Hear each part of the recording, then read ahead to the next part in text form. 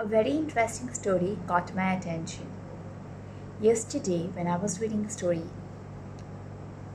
the story goes the king wanted his subject, the painters, to paint the picture of happiness. How does a happiness looks like? So all the painters got into their best art and then finally all the paintings were been displayed. And to everyone's surprise, the painting which was been awarded as one of the best painting, there was nothing cynic about it.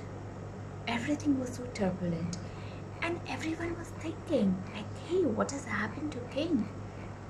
The painting doesn't have anything cynic about it. It doesn't reflect happiness so why the king has rewarded him? Is it by some mistake? And all his subject, the kingdom, people were discussing, and that's the time king came in and he said, Dear friends, please look at the painting very carefully. So all of them they looked, they saw that the storm, there was storm around, the, the clouds were like dark, they still couldn't understand like what the king was trying to point. He said, look at that river and the rock.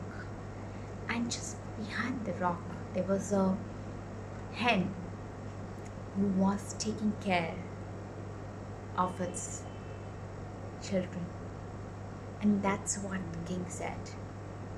That the true happiness is whatever's going around you, you're still able to focus on your task.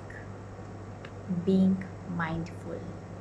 It is so difficult to be mindful, to shift our focus from mind being full to being mindful, isn't it? And this is so important, especially if you are set on your entrepreneurship journey. So, now how can one be mindful. Because in an entrepreneurship journey they are going to be up and down every day. And it's a lonely journey isn't it? That's where you need to activate your inner compass. That's where the power of personal leadership comes in. Stay tuned. In the next video i'm going to reveal few secrets about it. Till we meet again stay blessed. Signing off Pooja Theresa Bhandari from Singapore personal leadership coach Thank you. Bye.